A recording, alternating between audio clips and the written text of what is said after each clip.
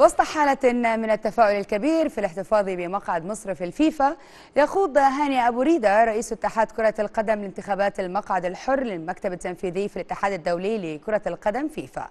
وستقام الانتخابات على هامش الجمعية العمومية للاتحاد الدولي للعبة المقامة بالبحرين. ويعد المنافس الأبرز لأبو ريدة على المقعد الحر هو التنزاني ليوديغار تينجا المدير التنفيذي للاتحاد التنزاني لكرة القدم.